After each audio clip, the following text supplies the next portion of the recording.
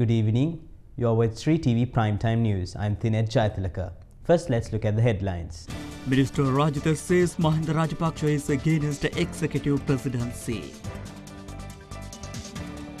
Common candidate Ranil and Fonseca. Election Commission prepares for presidential poll on January 8. Election Secretariat's office is currently preparing for an emergency presidential election that is going to be called very soon, reports say. In a discussion held between the election commissioner and his deputies, it has been revealed that the polls are to be held on 8 January. It has also been decided to prepare the time and services charts of the all officials at the commissioner's office targeting this event of well. However, the ruling regime has previously decided to hold the presidential election on Saturday, the 10th January, but since they were not able to get the papal visit postponed, the intended date was shifted to 3rd January. The Vatican on Friday released the itinerary for the Pope's trip to Sri Lanka, where he will canonize Sri Lanka's first saint. The Rev Joseph was a 17th century missionary with reviving the Catholic faith in the country. The Pope is scheduled to visit the island from January 12 to 15, 2015. The Sri Lankan government will not directly file an appeal at the EU Court of Justice against a recent order on sanctions imposed on the LTT in the European Union.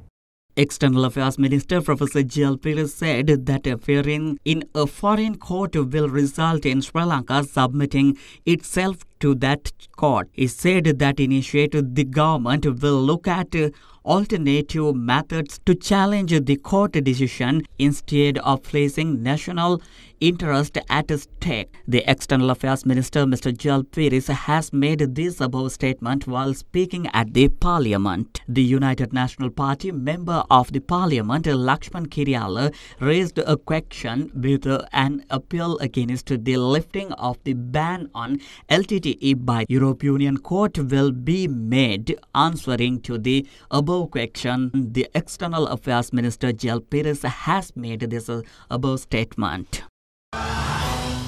The Minister of Fisheries Rajitha Senaratne, who found himself in the middle of a controversy in Parliament early this week that President Mahinda Rajapaksa was also against the executive presidency and will move to abolish it after the next presidential election. Senaratne said that he has been always against the executive system and added that the executive presidency and the current parliamentary system had taken the, the country down to the present state. President Rajapaksa's hands were tied because of the war for a few years and he could not move against the executive presidency, Senaratne said. Senaratne also added that the government will change the institution of executive presidency and the electoral system in the right time. The Minister of Economic Development, Basil Rajapaksa says, last stage of landmine clearance underway in the northern province. 126,000 million rupees allocated for the landmines clearance and landmines clearance and we believe to we believe to evacuate 13 million landmines. At present military proposal have cleared up 95% of land in the northern province and only need to clear up 5% on land. At present government conduct housing, water and other infrastructures facilities in the landmines evacuated site. Former Army Chief and common candidate of 2010 presidential election, Sarath Fonseca has stated that Ranil Wickremesinghe should be fielded as the common candidate in the upcoming election. Fonseca, who was in Singapore for a medical test, has returned to Sri Lanka this dawn and has informed the UNP leader of his stance. Sirikotha UNP headquarters sources report that the majority of parties and organizations representing Samaga Balawegaya have also approved these suggestions. Meanwhile, a survey conducted under the guidance of UNP President Kabir Hashim has revealed that Ranil Wickremesinghe is the most appropriate individual for the common candidate position.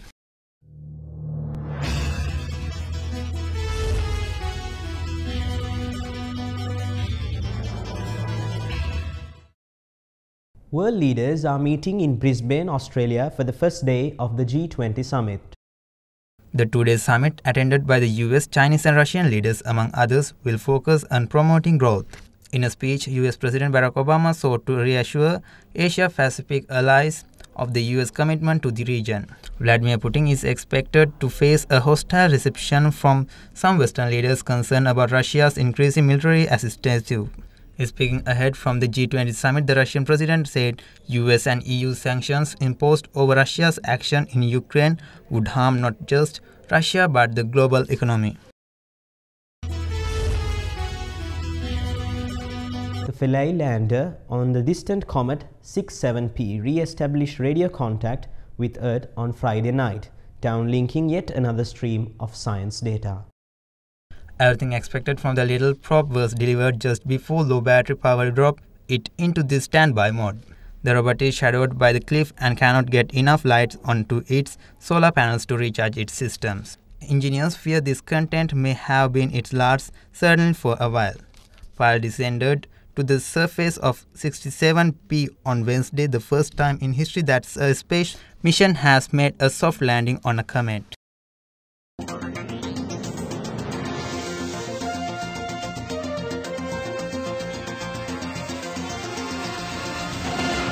Australia fast bowler Mitchell Johnson was today announced as the winner of the Sir Garfield Sobers Trophy for ICC Cricketer of the Year. The 33-year-old was also named as the ICC Cricketer of the Year. During a voting period between 26 August 2013 and 17 September 2014, Johnson claimed 59 test wickets at the average of 15.23 with best bowling figures to of 7 for 40 runs against England and in Adelaide last December. In ODIs, Johnson claimed 21 wickets in 16 games. Since the inception of the awards in 2004, Johnson is only the second player after compatriot Ricky Ponting to win the Sir Garfield Sobers Trophy twice. While Johnson previously won this award in 2009, Ponting won back-to-back awards in 2006 and 2007. Other winners including Rahul Dravid, Jacques Kallis and Andrew Flintoff, Shivnarine Chanderpaul, Sachin Tendulkar, Jonathan Trott, Kumar Sangakkara and Michael Clarke. Thank you very much for joining with Sri TV Primetime News. I am Thinet Jaitilaka signing off.